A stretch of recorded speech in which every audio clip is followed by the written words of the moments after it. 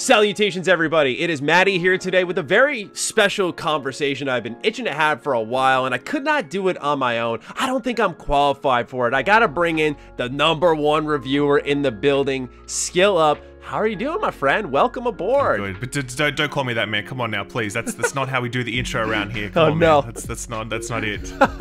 You don't like that? You're not feeling it? Definitely do not like that. Definitely do not like that. Not at all. So. All right. Well, you're here to talk reviews with me because we're in a time period where there's a lot of diversity of thoughts, right? We, we got Sure. the the journalists, we got us YouTubers, we got many thoughts, we got Twitter. Everyone's sharing their thoughts on games, and reviews are at a point in time now where people are talking about the process of them, the scaling of them, and you know, very often we see the well, you gave this an 8 out of 10, but this got a 7 out of 10.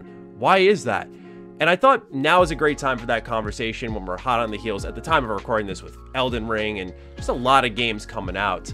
Um, and before we really got into all that stuff, I wanted to rip through our personal process as reviewers and then Sure. get into how we think the current battlefield of reviews is at this moment. Battlefield. The battlefield, right? I'm gonna make it nice and, battlefield. I love ni- it. nice and toxic. Is it is it is it uh, is it reviewers at war with each other Yes. or at war with Yes, gamers? Is that what it is? right. We hate each It's, other.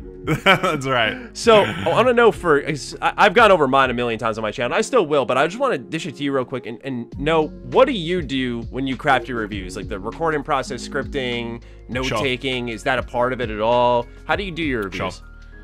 Sure, sure. Well, first of all, can I just say thank you very much for having me? Oh, of and course. um, I've really, as I, I- as I've said to you, I've been watching your stuff for a long time, and I've always really loved your reviews. You. Uh, I think you know you're super thorough and professional, and love your like personal takes on stuff. And um, yeah, whenever a game comes out, I'm always tuning in Bro, for the greetings I'm such a big fan of you man. that I was turning red in the intro. Like I can feel my body temperature going up, bro. I'm you just like- do that thing with the with the saturation. You just turn that Yeah, down. yeah, yeah. I'm gonna have note, Josh turn that down. on that. he'll, he'll, grace, grayscale you at this moment. You know. There we go. Um, no, but as I said, I do appreciate being here. So thanks very much. Um, yeah, in terms of in terms of my process, so um, like obviously it starts with the hustle and uh, i think that's kind of something we don't really talk about. The review scene doesn't talk about well it kind of does but not really um, don't you can't just assume you're going to get a review code for anything like nothing. So you know even though you might have a good relationship with x publisher uh, the review process for me still begins like three months earlier being like hey i'm interested in reviewing that title. Uh, just so you know. Like and then i will send that email again like a month before and then i will send it like a week before being like hey just seeing if you've got timing on review code and uh, most of the time you won't have had any response at all to the, any of those emails Okay, so and I'm then all the of a sudden one. All right, good. nah, dude, nah, dude, no, dude. Because like obviously, like my channel is bigger, right? Sure, as in like you know bigger than your average review channel, but like that does not mean that I, I get you know immediate access to all game codes, and certainly I, I do get plenty. Don't get me wrong, but um, but if I'm ever complacent in regards to that. Then I just they just won't arrive. You know what I mean? You fall off the mailing lists or whatever. How it all comes together, you just get left off. So Step one is actually that hustle and making sure that you're in front of the people that distribute the codes so you can get them in time for the embargo, right? Of course. After that, um, when you get the code, it's like, fuck, how the hell am I going to finish this before the embargo, right? There's like this like fear. You're like, this is impossible, you know? They give you like, uh, what was it, the the the Final Fantasy Strangers of Paradise They game, gave or us like a weekend. They gave me like four days Yeah. for a 40 hour game. You're like, what am I supposed to do with this, you know? So then it's like, okay, well, what's my schedule? And I do think actually, certainly for an independent, scheduling matters a lot. I'm a little bit jealous of like publications because, you know, they share the workload amongst them, you know, and, and they get assigned a game to play. Versus for us, it's like we have to play everything or as much as we can if we want to stay relevant, you know? So um, trying to work the scheduling is like a really tough part of it. Um, and then obviously, yeah, you start playing it, and it's just partitioning parts of your life and saying, okay, cool. A- a- again, part of that is talking to the people around me and being like, hey, wife, I'm gonna be reviewing Elden Ring for the next forever. Sorry, you don't have a husband for the next like s- 80 hours slash eight days or whatever it is, you know? Um, and so having that support network around is actually really helpful as well. Um, and then, yeah, you play it, and uh, I record everything as I go. I, it's funny because I often hear publications talk about the fact that they need to play a game and then someone else does the capture for it. Like Yeah. I, I definitely hear that a lot. And I'm like, what do you mean you're not recording when you're playing? That doesn't Mm-hmm. make sense to me. You just hit the record button, and then when something happens, you save the file and you label it and like number it. Okay. And yeah, then I have same. like I, I always yeah. found that fascinating because I yeah, Yeah, for, I for like- me um I I used to do huge two hour gameplay capture files on Hmm, Elgato and it would just be like two, I'd have to comb through it all to find what I was talking about and then I'll talk to Karak and he was like why don't you just stop the recording and label things I was like yeah that's Yeah. that's probably the play because there's certain things that happen you make note of and I want to include that in the review to like show people the thing exactly as it Yes. happened and you just can't Yes. replicate that if it's not happening consistently. So I always Mm. found it interesting that that outlets will typically have them capture gameplay after the game's been completed by the reviewer. Yeah, yeah, yeah. That I just don't see how that clicks together. But I do. Th- well, I think that's kind of makes sense because often I think from publications, and not there's not any shade because they have their own process and it works. But like I don't, I do think that they'll often just show sort of more generic B-roll footage that doesn't necessarily directly connect to the points they're making. You know. Yeah. But I do think um, one thing that I'm really specific about, um, and you know, was bef- while I was editing my videos, and now with my editor Austin, is that when I say something, I want the on-screen action to generally reflect that point. You know, Yeah. and so that um, that numbering thing really matters. You know, when something happens, stop the recording, label the file, give it a number. I also have a note thing that I do in like OneNote, you know, Microsoft OneNote, Yeah, yeah. where I basically just be like, you know, clip 55. This showed me that actually Elden Ring is a good video game. You know what I mean? Like, uh, and then that's it. So then by the end, I'll have this. This, the, all these files, and I'll have this, you know, big stack of notes, and then I start sifting through it f- for a script, you know, and um, that's really the hard part, I think uh, because you know obviously my the review my reviews take on average about 30 minutes um, that's usually about five to six thousand words um, it's hard to write five to six thousand words every week you know what i mean like Yeah. it is um, and for it to be you know interesting and insightful and you want it to have some humor in there and whatever but just getting through the sheer word count every week is a challenge um, and i think you know while i'm trying to do that i'm, I'm really trying to communicate what, what a game feels like, I think. And I know that it's like it's such a meme because everyone's like, this game makes you feel like Batman. But I'm like, well, yeah, that's kind of the whole thing, right? Everyone roasts that line, but it is sort of like the most important aspect of any review, I think. Like, or, I mean, I don't know. I just. I, I kind of feel like uh, the features of a game are less interesting than how those features make you feel, you know, Yeah. um, or what they make you experience. And I think I try and focus my reviews on that rather than lists of features. Um, I kind of more talk about, well, what do you experience when you engage that feature? Um, and yeah, so then I have a script, I record the audio badly, full of mistakes. And then I'm like, lol, here it is, editor. Good luck with this fun, one. yeah. and then have fun. And then he gets sent. I, I also upload all my footage onto a central drive. He gets the uh, footage and the script. The script will sometimes have mentions in like, "Hey, use this clip." Mm. Um, sometimes not. Often he'll just rely on the clip's labels to be able to pull what he needs. Um, Austin's amazing like that. He just knows what needs to go Feel where. Yeah.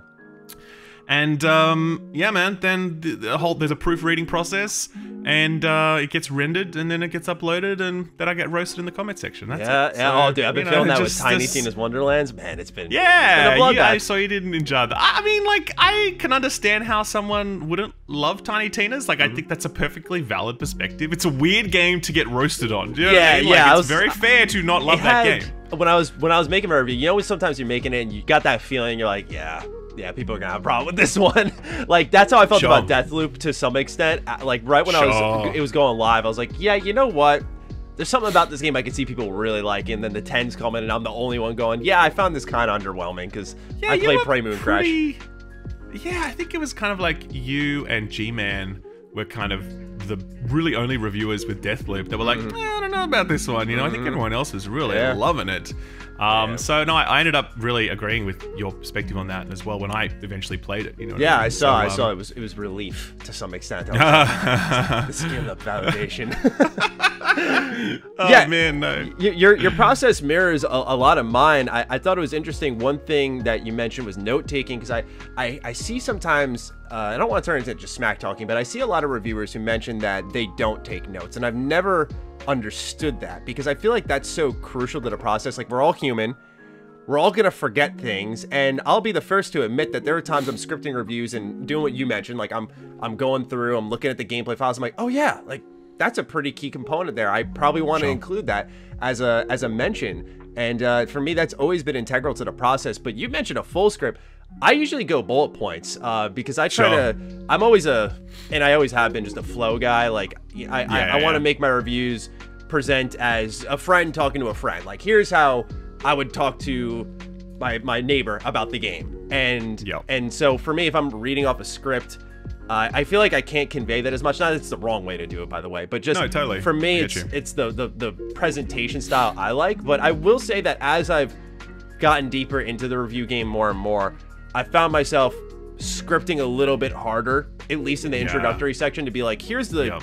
too long didn't read setup Yeah, for you, totally. and then build off of that in a more natural way. Yeah, I think that's so true. I think I used to do more freestyle reviews back in the day, and I don't do them anymore, generally speaking, mm-hmm. because I would say like offhand comments that I don't agree that weren't accurate, and then I would get roasted for those, and then I would get like, oh, why did I say that? That's such a dumb thing to have said, and so I really Sure. agonize a lot more over my words now because I know obviously more people watch my content, and so the stakes are higher, Same, and yeah. so I kind of feel like, oh, okay, well, I, I really better make sure I get this right. I, I know I produce better quality work when I write when I write a script. Yeah. Um, but also, I think that intro thing is so true. Like, the hardest part of a review for me is my intro.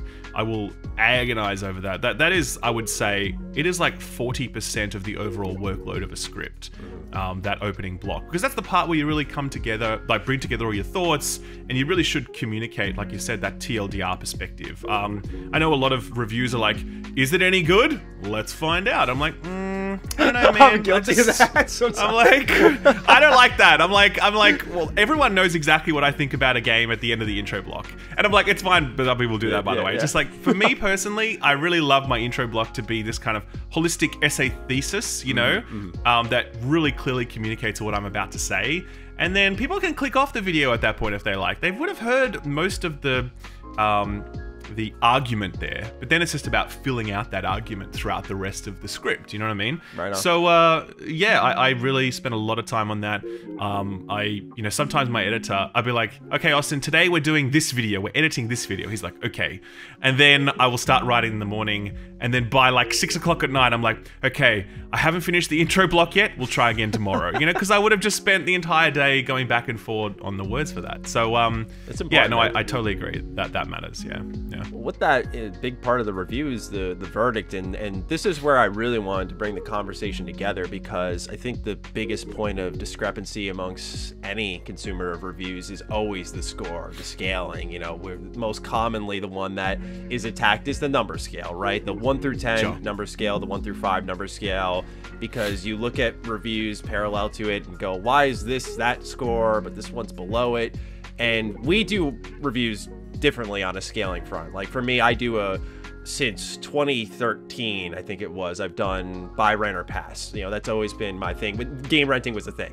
Now it's like buy, buy on a sale, Subscription services, Game Pass. Yeah, there's only so much I can fit into a title and SEO rankings and all that stuff. So, you know, I gotta be honest with everyone. Like that's just how it's gotta Sure. be. So, uh, that's always been my thing. Is I feel like when you start to slap number scores on, it doesn't tell people the true value. And because you mentioned earlier, like you don't like to do a feature list, and I find it interesting because I like to do a feature list because I feel like oftentimes a lot of reviews will leave out important features in their Sure. in their content and their approach that because it doesn't matter to them. And honestly, that makes sense. It's a reflection of yourself and what you like and didn't like and all that stuff. Yeah. But for me, I do a feature list because something may matter to someone else out there. Sure. And um, so when I'm scaling all that out, and I come to the end of the experience, you know, you, you roll the credits. I'm like, okay, what if I put my sixty dollars down? If I felt comfortable with that, and one of my parts of uh, uh, my review process that I did take from Karak entirely, which was um, I'll put sixty dollars on the game no matter what. Like when they send me the free code,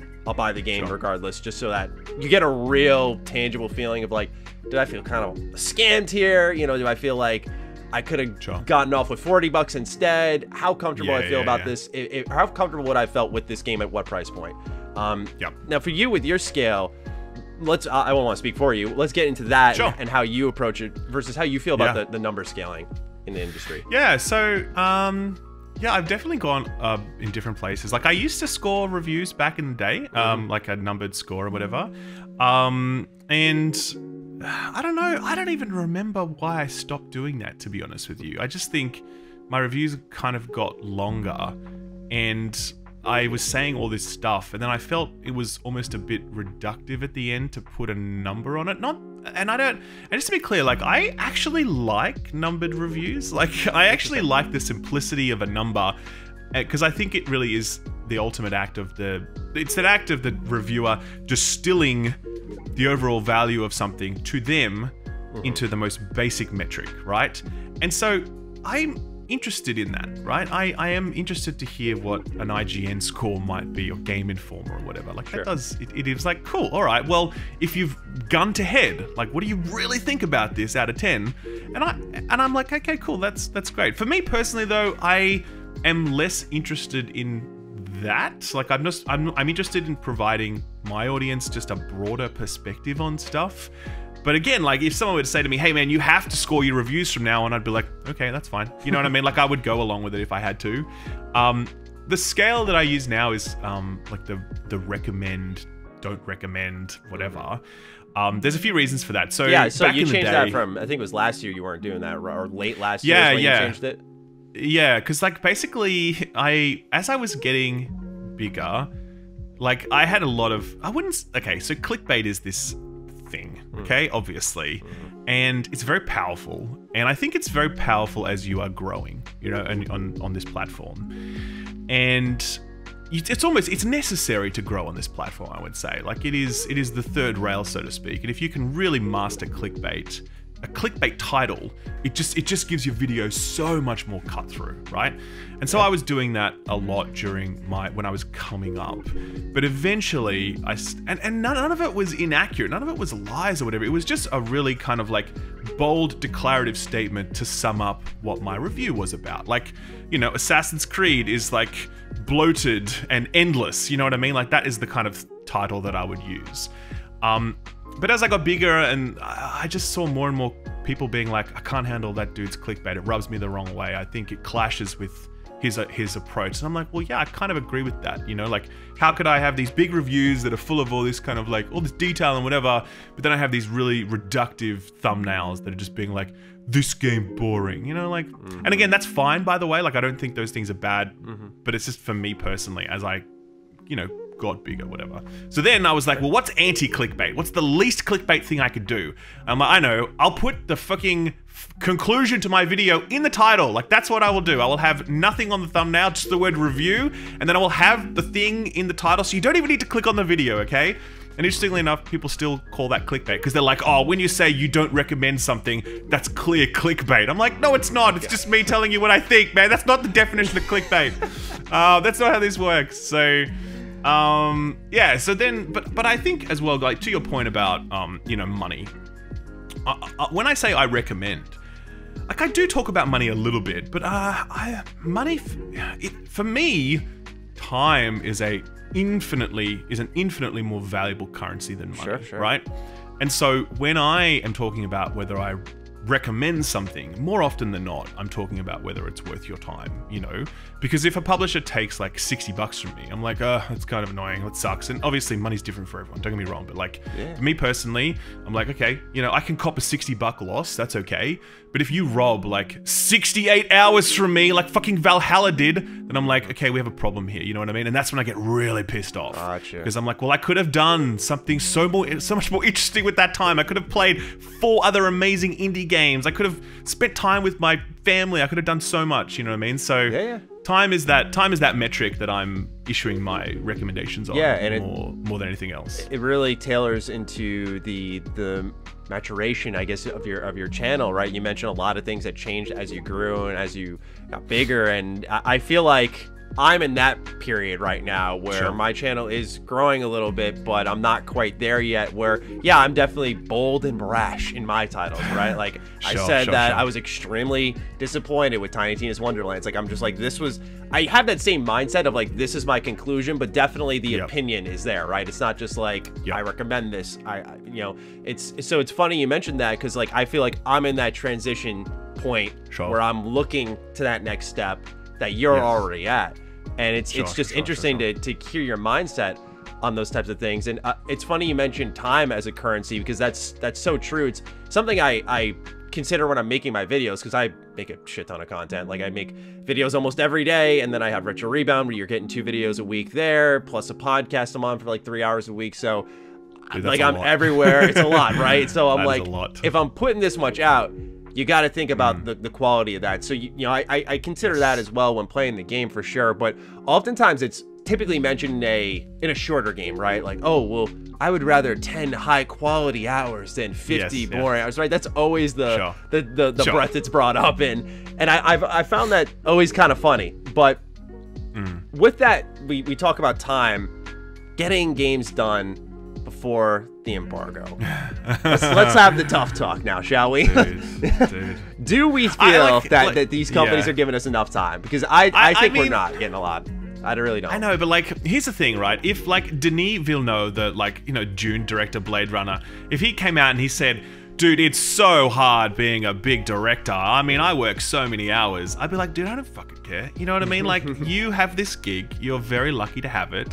Uh, you know, like you have signed up for this life, and that's it. And like. Uh, so like I don't know like obviously yes the answer is we do not get enough hours. And I think if a whole bunch of game reviewers were to be at a bar we'd all sit around being like eh the fucking embargo on that one huh? That was a killer. We would do that of course because it fucking sucks right? It is detrimental to health and lifestyle and whatever. I get that and I would love to see a change. I really would. But at the same time I almost like I understand how it sounds when we talk about that. It's like world's smallest violin man. Hey you Oh, get to play video 100%. games you get to play video games for a living and like and that's true. Like i'd have i think we're extraordinarily fortunate to live these rarefied existences where we are literally play, paid to play video games. That is not lost in me. And i think that that perspective ultimately just pushes that other that other conversation to the side. You know what i mean? And like again there's no yeah, sure. I, I, totally agree. Like we talk about crunch in video game uh, developers, a crunch in the review space is absolutely a thing. Um, but will it ever become like a thing that consumers are talking about and advocating on our behalf? Nah, no, that's nah. not. That's not going to happen. Do you know what I mean? So I really feel like it just it's down to us to set our own. Like we don't have to hit embargo. Like you know, w w it's possible for us to do our stuff later. And certainly now that my channel is bigger, I do have that luxury of putting stuff up later and it still gets views and I'm fortunate in that regard. Yeah, that's awesome. And I think most most creators who hit that point have that luxury, you know. But certainly when uh, you're on the up and coming and you're really grinding hard and you really are, are working the algorithm, being on embargo is a, a deal breaker. It's it's it can it can mean the difference between your channel growing and not, you know. So I remember that struggle. Um, I mean, I still put myself through that struggle today because I really care about hitting embargo, but you know the stakes were different back then, where I really had to do it It's competitive almost. because yeah well i mean i think it's i think it's less about competitiveness and that's one thing i would say about the review space i don't believe that the review space is at all a competitive space. Like i don't think it's zero sum. I think it is possible for more than one fantastic reviewer to exist. And and i don't think you lose reviews to other people or pla- or publications but i do think you lose to the algorithm if you are not in Yes. that algorithm enough at the right time. You know, Yeah. so your real enemy here isn't, you know, you are not my enemy, Matty. Yes. Okay, We're friends. The algorithm, the algorithm is is is our mutual enemy. Yes. You know what I, I mean? should have specified that's it. what I meant when I say competitiveness, but yes, very well Sure, put. sure, sure. But uh, yeah, we fight the algorithm every day, and um, and it's just about like you know staying staying in, staying relevant, etc. Yeah. Yeah, I, yeah, you, you put it so perfectly there about embargoes because we, we do live very blessed lives, right? We're, we're, we're able Sure. to play these video games, and, and and not only that, but like if you don't do my review policy, you get to play them for free. I had a launch, like a dream come true growing up. I remember, you know, when I was in high school, that's all I wanted was just to review games. course. Like it, it didn't matter. It still doesn't really matter, like the income. Like of course I need to live, but um, you know, it's it's like still this childlike fantasy that's that we're Yeah, all yeah, yeah. living in. Um, Totally. So yeah, it's one of those things you don't want to bitch up a storm about. But at the same time, I, I do think of the consumer where I want them to get the best take of a game, and it does tie into one of the topics we wanted to cover about beating a game putting a score on it, how necessary that is. And for me, I've always made it like I refuse to put a score on a game and call it or call it a review unless the, the credits have rolled. It's just kind of been Sure. my thing. And I've kind of seemed to find a way now where I can do that where I'll have like impressions on a game and then I call it like a final verdict when the game is done after launch. And that's been a way where like I did with Elden Ring, I did it with Skyrim Anniversary Edition, and like they've performed well. Where you mentioned like finding out how to get views after the embargo lifts, where it's probably the best time to be there.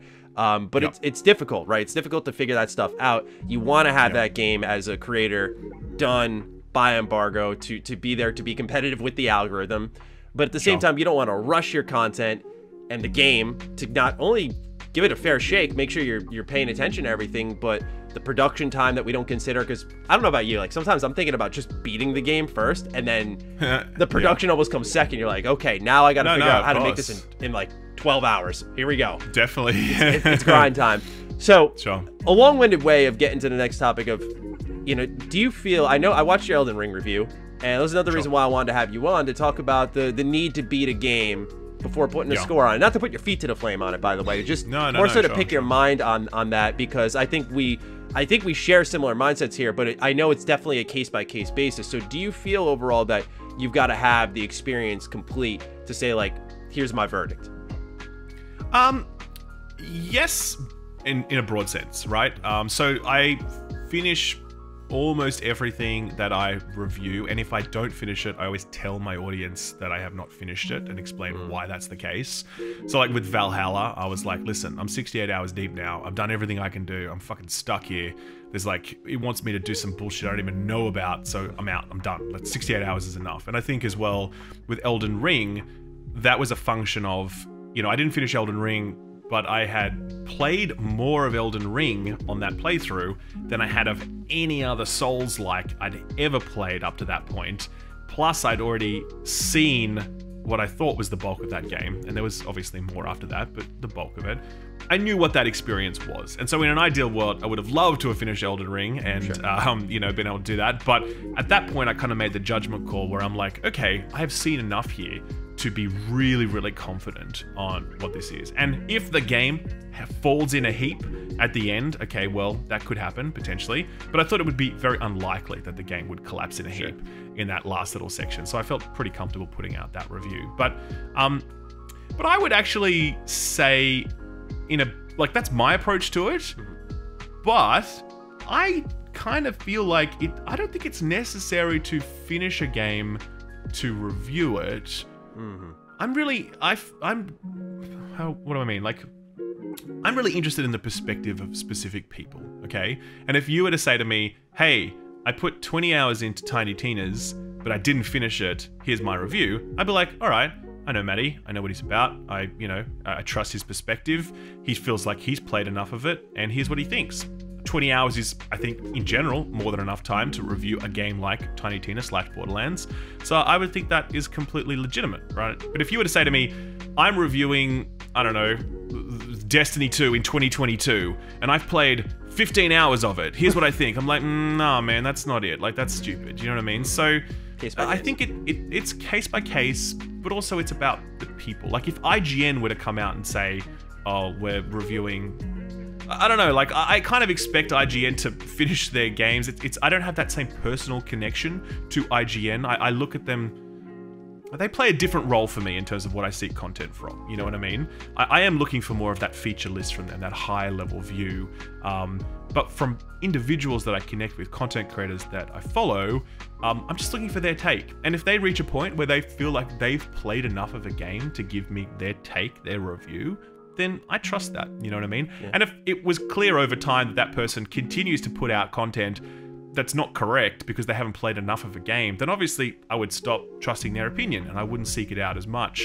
But um, generally speaking, I trust reviewers to be able to judge when they've played enough of a game to review it. You know, Yeah. um, that's where I go these days. Yeah, hundred percent. And I, I think that that's really well put because there are. It's because I think a lot of consumers just don't trust the general media and even a lot of content Sure. creators nowadays, just because of it, you know it bleeds in from other avenues, right? We saw what happened with Philip Mewson, and it's like, well, what about the reviews now? Like everything's in jeopardy. You look at the the Prey situation with IGN giving it a four, and they're like, well, all their reviews are bad now, right? It's these kind of Sure. mental leaps. I look I at like, myself. I like cyber. I like cyberpunk. Therefore, everything Skill Up says is irrelevant. Yeah. Oh, dude, You I hear that, mean? right? Yeah. For me, it's Fallout 4. I, I loved Fallout 4. I was 18 when I made the review. It was a, it was not my review I'm proud of, but it, it's definitely sure, followed sure. me for years to come. Where people are still saying like, "You called Fallout 4 near perfect." It's like, right, right. When I was 18, right? I'm Sure. 26 now. Like it's been it's been a while. So let's let's turn the chapter, right? But uh, yeah, man, it, it's it's just interesting to see where everyone is right now in this space, and I, I think I, I should mention um because I didn't beat Babylon's Fall. That was one I didn't beat, and I did put a, a verdict on because I, I do agree with the case by case approach. Because there are some games for me, it's like if it's good, I feel you should see it through. If it's really bad, I'm talking Yeah, yeah, Godfall, yeah. Babylon's Fall, Crossfire Dungeons X. I, I did beat Crossfire X. Yeah, yeah, Dungeons Dragons, like those types of ones where you're like, yeah, like in hour one, I know this is really bad. Like, how long Yeah. do I want to agonize for? Yes. And it, you just only get more worked up, especially if you're like me. Again, I try to do the natural approach. Like, I don't filter myself after a certain point with the script. It's like, so I hit the ground running in some of these Sure. these bad reviews or these games where I'm reviewing that they're really bad. Uh, but yeah, there are definitely times where I think the rules can bend, and it's about knowing the creators at a certain point, right? And I think that's where the media stumbles a bit, where you and I are a little more fortunate. Like people can follow us and our thoughts and kind of look through a, a catalog of videos and account for how we look at things and how Sure. extensive we are. And it's right there where you don't know who's reviewing Tiny Tina versus Elden Ring over at IGN. Uh, not that Yeah. you can't find that out, but we're in a different era of media where I think like in 2012, 2013 with like IGN, you know, a lot of people were familiar with who was working there. And I think now it's sort of fallen off in that regard. Still, they're a huge website, very important outlet, uh, as are many, but I do think that uh, there isn't that personal connection anymore. Yeah. Yeah. No, I totally. Yeah, I mean, I, I I've always thought it's interesting that like the likes of IGN. I don't know. I, I it would be really interesting to see them kind of build their review outfit around because they don't have a review outfit. Everyone at IGN kind of does reviews and also news and whatever. But I don't know to put their people like to push them out a little bit more as personalities, as people with expertise, because there are certain people in IGN that have expertise in certain genres, like Luke Reilly does their um, uh, racing stuff, and um, Mitchell does like their most, their sort of like Souls-like and fighting games and whatever, right? So there are certain people that I've now come to know for their expertise, but I think your average audience doesn't quite know that. Yeah, yeah. And then also there's just a whole bunch of other people that I don't know within that within IGN. But I don't know, like That's a huge outfit with a lot of potential to really kind of silo its people based on their expertise, and I think that might change how we view. And it's not just IGN, by the way. I shouldn't say that. There's you know there's the, all the big publications, Yeah, your Game course. Informers and your GameSpot and whatever else. But I do think the review space is moving more towards like people and personalities and like well who do i align myself with you know? Like who do i who who who who has a perspective that i generally align with? And i think that's why independent reviewers manage to do well you know? That's why we are competitive on this platform versus other like you know ign has 20 million subscribers and gamespot has 5 million subscribers and whatever but we still manage to like eke out a living so to speak doing what we do. Because i think people really look for people with the same perspective as them. So i think it, it would be really interesting to see those publications move more towards that model and build out the profile of their reviewers and, and, and highlight their expertise so that people can then go, okay, cool, this is Luke Reilly from IGN reviewing a racing game. Hell yeah, let's go, man. This guy knows what he's talking about. You know what I Yeah. mean? So Yeah. that's what I've often thought about when it comes to those those platforms, those those publications. really the last thing I wanted to get into, and you, you, you kind of briefly touched on it there, is kind of the aligning with viewpoints. And, um, you know, again, I don't mean to keep reflecting back to it, but I look at what's happened with the Tiny Tina Wonderlands review, where it's not getting bombed by any means, but there's clearly like a strong, like, let me hit this like, let me tell this guy to go fuck himself, you know, a little, a little bit of this, a little bit of that. And, uh, there's a you know have you ever because i think i'd consider you extremely well respected in in the review space. Like i think even if you come out with a, a scorching hot take it's typically immediately respected because like you know what you're doing. Um and if you wanted to have you tracked that maybe i just noticed it from the outside looking in where like you know i, I think of like Judgment, right? Where I think that was the Sure. game that you came out and were just like against the like grain. this. Yeah, yeah. Sure, sure, sure, And sure, then sure. there were other ones that I feel like that that was a moment where I was like, wow, people are kind of pushing back on him there. But Sure. for the most part, I see people are typically, even if you're in the minority, respecting that opinion. And I, I want to know, do you feel there's enough of that? Because it's something I still struggle with, and I'm like, how do you win that respect? I just try to do my job, be as honest, transparent as possible. Just let it all go out there. Give as much information. Let them make the choice at the end. Give a price point. Um, but there's, I almost feel there's too much ego attached to these games. Like you're attacking someone. Like in my case, Right. I was attacking Borderlands fans by being like, "Yeah, Sure. this game is just more of the same to me." And Yeah, some people yeah, take yeah, that yeah, right. personally. How have you felt you've circumnavigated that? Because I think that's one of the tough parts about reviews where I mentioned this earlier, right? You're, you're put, putting a score on it. You probably got a gut feeling. You're like, mm. like, but Elden Ring, you got that good feeling. You're like, this is just, Sure. you, you, this is a no downer. Like, this is fine. But then there's ones like that, like for me, Deathloop, where I'm like, ah, yeah, like I'm, I'm in for the headache. Here we go. Have you ever felt you found a way around that? Have you, have you felt that that's gone too far on the platform for Um, reviews? Ah, That's an interesting question. Um, I think I used to. Th- I used to think about that stuff a lot more. I, uh, I think when I was when you're coming up and you're sort of like, you know, you, you're figuring out how to be on this platform and who you are as like a creator. I think you definitely really worry that you're going to piss people off, but you know, you, you're more self conscious about that and but I think over time, like I've learned that the most powerful thing that we have as reviewers is perspective. Like that's what people tune in for. You know what I mean? Mm-hmm. And so if you were to ever sanitize that for fear of like you know pissing off a, the judgment fans or whatever, I, I just think that that that doesn't help anyone in the long Yeah, term. yeah, so yeah. yeah, obviously that review gets really bombed and whatever, but that's okay because everyone knows that I'm always going to say exactly what I think about something. Sure. Some people found that review interesting because it was a different perspective than what they'd seen more broadly. Um, and so that's fine. And obviously, I get all these clips on Twitter from people roasting my gameplay of Judgment, being like, this guy doesn't even use this combo, so therefore he doesn't even understand the game. Like, that's a thing that happened repeatedly, by the yeah, way. yeah. And it's like that, those things happen and they appear in your, um, your timelines and whatever. And as I said, I used to care about those a lot more. They still get to me a little because you see them and just like, oh, not this again, Yeah, you like know. the disarming but of they just the well thought opinion, almost. Wait, but just, just it's just like such an annoyance where the Yeah. where fandoms kind of do what they do, and like obviously, if someone were to come out and say, actually, I don't really like Elden Ring very much, like that person is just going to go through hell for the next month. You know, I've seen developers and whatever, uh, you know. Getting completely roasted on Twitter for what are fairly innocuous takes about Elden Ring, you know what I mean? And like they're not great takes, but also at the same time they don't deserve to be just I don't know, like it's it's yeah, I, I do think that fandoms are, you know, they're a lot to deal with, mm-hmm. and I think that they used to affect, affect me a lot more. But as, as I said, being bigger now, having done this for longer, it's much easier just to shrug it off now and be like, cool, everyone's gonna hate this, that's fine. Like, I'm about to review Destiny. I have a very different perspective on Destiny 2 than I think everybody else does at this point. That's okay. Everyone knows me and that I've been playing Destiny enough that like they know what I'm about. They know I'm not there just to like farm outrage in the Destiny community. Like here's what I think.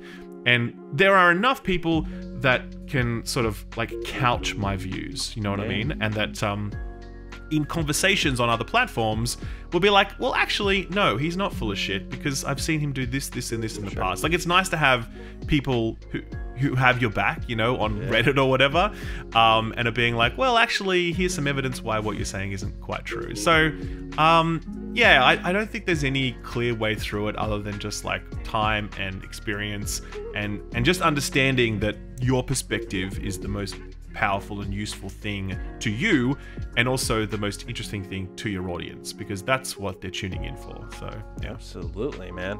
Well said. And Mm-hmm. Honestly, I'm I'm out of topics, man. I'd love to keep you hanging around here. We're gonna have to find another Yeah. reason to get together. But uh, you've been you've been mighty insightful, and uh, the experience shows, man. And I'm I'm extremely appreciative of you coming through and dropping the wisdom and having this conversation with me on just kind of the the state of modern gaming reviews and and Sure. where things could be heading. Um, it's been fascinating. So again, thank you. I really appreciate it. no thank you very much for having me. And yeah, man, I hope we can do it again sometime Yeah, in the future. We'll find a reason. Yeah. We'll figure it out. Yeah, I'm for always, sure, I'm always sure. churning those ideas. So, ladies and gentlemen, I'm sure you already know where to find him. But if you don't, would you like to tell them where they could find you? I'll have it all linked down Yes. below, so don't worry. I'm I'm I'm Skill Up, aka Shill Up, and I have a YouTube channel, and I review video games and do gaming news hot takes once a week, and uh, I'm on Twitter too much, and uh, that's it, man. So just just just Google me, you'll find me. Right on. Or links in the description down below, whichever works for you. Again, thank you so much for joining me. Really appreciate this. And with that, Thanks, ladies and gentlemen, we'll see you all next time. Stay sexy, stay active. Love you all. Peace.